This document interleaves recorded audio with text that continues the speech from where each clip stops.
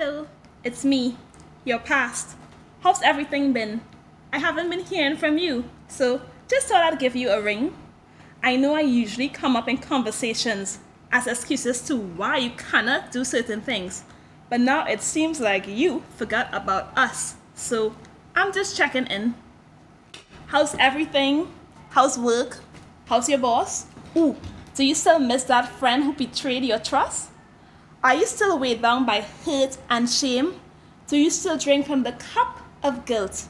The past can be referred to as the time or a period of time before the moment of speaking or writing, or a moment gone by in time and no longer existing. It can have a hold or influence on some people's present and future. One poet is addressing the past through her craft, encouraging listeners to lose the grip of the past whenever it shows up in the face of opportunity. Kamaria Jordan is the poet who created and produced a spoken word piece called The Past. My name is Kamaria Jordan.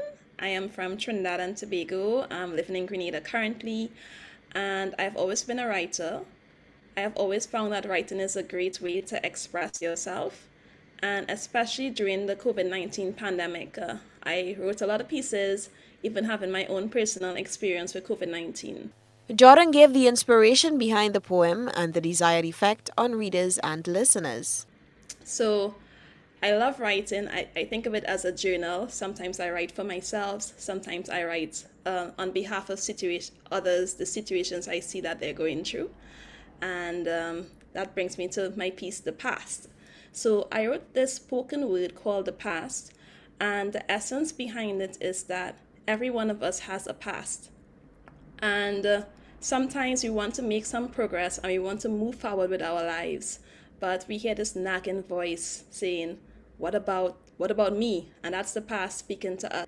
It is that um, no matter what you've done or what you've been through in life, what has happened to you, you are able to move forward. And I think that's the message that um, that I really want to portray.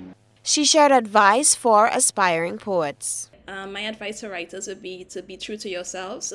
Um, before you think of how it will sound to others, think of the feelings that you are trying to express. For GBN News, Beverly Tellisford.